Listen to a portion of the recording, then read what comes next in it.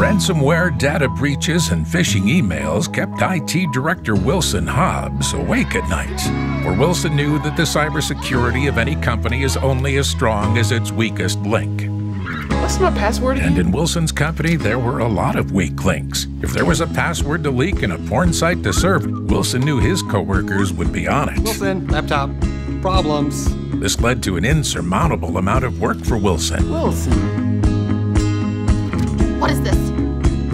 As the tasks piled on his desk, Wilson started to feel unconfident in his ability to do the actual work he was hired to do. Wilson, did you get that cybersecurity report done? He dreamed of a cybersecurity system with real time threat analysis, artificial intelligence, and machine learning that would be easy to manage. And one day, Wilson's dream came true. Yeah! Yeah, taking it down, taking it with Yeah! Finally, Wilson felt that he got credited for a job well done. That's Cybersecurity 101. He regained his confidence and had the time to connect with his peers around him. She said no. I mean your physical address. Wilson felt like together they could achieve great things, both as a company, maybe even as friends.